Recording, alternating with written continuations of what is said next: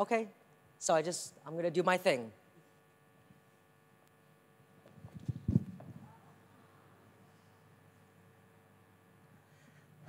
This was me 15 years ago. Waking up in the morning before work, and whenever I got home, right after work. Every day, the same thing nine to five, or six, seven, eight, sometimes nine to nine. Same thing, like a robot. Great job, though. I was head of sales and marketing for a telecom company, making mad money, could do what I want, go where I want. But um, after a couple years of this, it gets a little stale, gets a little boring. There's no fire, there was no passion. I had a passion. I enjoyed dancing, I enjoyed creating, but it was such a struggle. Anything to feed that passion, that fire, it felt so great, but what's gonna pay the bills? So, plan B go to school, get a good job. Done, I'm set. I'm happy, I'm living the high life. But then after two years of this, this is what you get waking up screaming. But wait, I just realized I haven't fallen asleep yet. How many of you know this feeling? Anybody? Yeah? Yeah. It's a dark place whenever you go through life. No fire, no passion. You feel like you just hit rock bottom. But it's okay because people say when you hit rock bottom, the only place left to go is up. That's wrong. Sometimes you hit rock bottom so hard, you just keep sinking and sinking and sinking, and all that's around you is darkness. And that light that you had inside has been forgotten about. So, what do you do? You gotta crawl. You gotta crawl and you gotta look around. Why was I like this? Wasn't just the work, it was everything. Yeah, material possessions right in front of you. But look around. Who, was, who were my friends? What were my other hobbies? What was I doing to nourish this passion and this fire that I once had?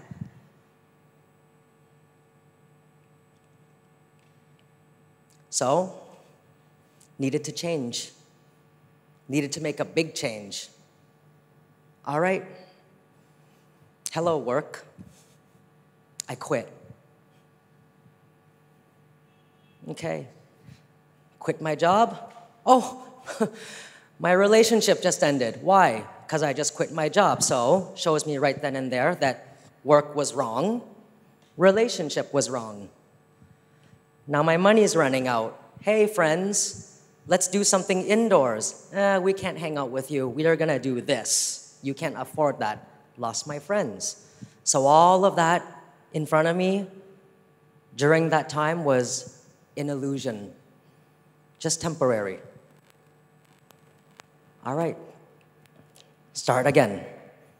Back to basics. Basic job, working reception, you know, go from shirt and tie, office, labels, and then shirt and tie, reception. Good morning. Good morning. Good morning. I'd be lucky if someone even gave me eye contact. It was usually just a card. But I still found hope and joy, and that little light inside was starting to ignite again. Why? because I had the time to see the truth around me and start going to dance class again, to start listening to music, to start enjoying what I do. But it took a sacrifice. I had to sacrifice a life of fortune. I was rich, with material possessions, but I was not rich with emotion or passion or dreams. And it wasn't until I had to sacrifice and give everything up and commit to that, things started to become clear again. And a lot of the times, people say, I have a dream, I have a dream, I have a dream. Why isn't it happening to me? When is it my time? When is it my moment? Well, what are you doing for it to happen to you? You got to take that step. And mine wasn't just a step, it was a plunge. Yeah? Dreams don't just happen, you got to do the work. And that's what I did. So, after a couple years of working, for my dream, sacrificing for my passion. Yeah, going from restaurants and steak dinners to tuna in a can, but it's okay. I get to dance. Sacrifice. Anyone ever been to Canada? Yeah? Canada is cold. Okay? And the winters are long. So I decided to run away from winter. And just like my passion, just like my dream, going back to the roots with work, I went back to my roots, back to Vietnam. And here I am in this foreign land. No plan, no idea, no clue. I have three months here. This was 10 years ago. And I'm looking, what am I gonna do for three months? I don't speak the language. I thought I did until I got here. I don't. I do now. and um, yeah, it was really back to basics. And I had a lot of time, a lot of time to think, to focus. I had no distractions. Yeah? No terrible circle of friends, no toxic work, no, no distractions around me to really think about what I was going to do. So, Put yourself out there. All right, I'm gonna step out into this foreign land. I have no idea what's going on. I have no idea what people are saying. I don't even know if they're laughing at me or with me. Usually it's at me. Slowly, you network, you meet people, you put yourself out there. You have to make a fool out of yourself. You have to take that risk meet that person, try to speak to them their way, in their language, interact with them. Half of the time I failed. But it's these failures from these risks that I took that helped me. And then getting to get involved with more of the cultural aspects of the country and the artistic aspects of the country, meeting dancers, meeting other artists, other choreographers, producers, and directors. I'm like, ah, I've made it. These are the people that I need to be around they call me, let's do a show. All right, I'm ready. I'm here. What's our show? This is my idea. We have 10 dancers here, and we have ribbons coming down from here, and I want lights from back there. And then, no. Why not? Mm, it's too risky. And I'm like, yeah, but we can be the first ones to do it. Let's be the first ones to do it. And they're like, uh, it's too risky. And then they open the laptop and like, hey, look at this. Uh, this was on a TV show two years ago. We're gonna do this. And I'm like, okay, okay, okay, okay. We'll we'll go with it. Maybe it's the first time, my first big job here. So I'm not gonna I'm not gonna push too hard. But then after a while, it becomes a pattern. But not with just big events, but with almost anything there was that fear of taking risks. And I'm like, where does this fear come from? Where did it come from? Why? Why is there this fear of taking a chance, being creative, taking that risk? And they explained to me their education. And after hearing about it, I was like, oh, that was your education in Vietnam? Okay, it's not very different from my education in Canada. Anytime it was, oh, this boy, me, he's different. He's weird. He has too much energy. He's trying different things, yeah? Growing up, you hear, you're different, and that's bad. And it sticks with you until you grow up. You're like, I don't want to be different. I want to be liked by everyone. I want to do what everyone else is doing. I want that acceptance. Yet deep down inside, we want to have a one up on everyone, yet we're willing to take that risk. Right? So, I've been fortunate enough to meet other incredible people who shared that same idea. People from Vietnam, people outside of Vietnam who have come here. And we all work together. Yeah?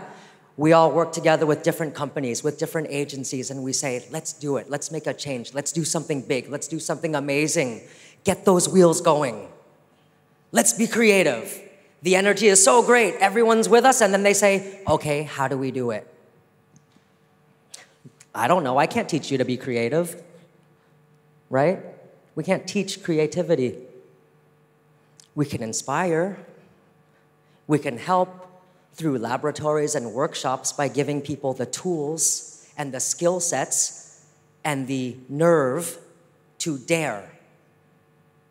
And that's what I have after 11 years in this country, meeting amazing people, amazing artists, amazing dancers.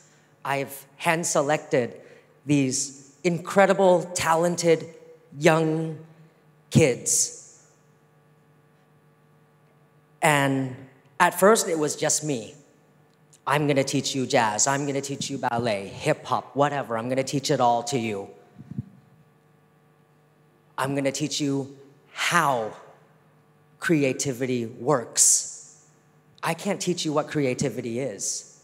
And then they asked me, Oh, teacher, can we try this? Sure, why not? Oh, but it might look stupid. Yeah, of course it might, but let's try it. Maybe it'll look stupid, maybe it'll look good. Maybe it'll look stupid good, who knows? So, 11 years now, these amazing kids who had their creativity stepped on for so many years. But still, like me, they had that light inside, but they just needed to ignite that fire. And now, these kids dare to be great. They dare to be amazing. They have the skill sets, they have everything that it takes to try something new and be different. I would love to present to you UDG.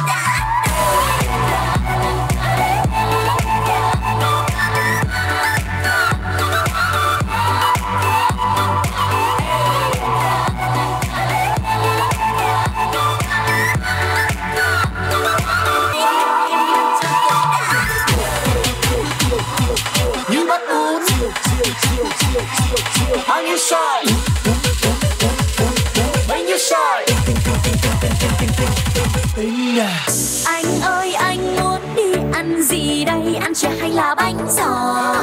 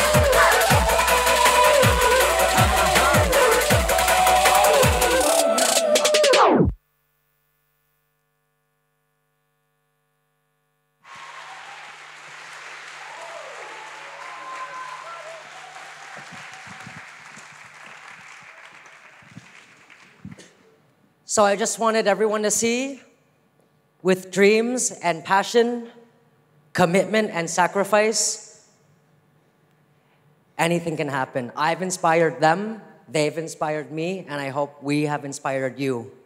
Thank you. And these dancers are À, mình tên là Quý. Mình tên là Lâm. À, chào mọi người, mình tên là Mỹ. À, mình tên là Trâm Anh Zebra. Mình tên là Hữu Phước, mọi người thường gọi mình là Ly. Chào mọi người, mình tên là Xoay Hello, à, mình là Tân Nguyễn, aka Red Cat. Hello, mình là Minh.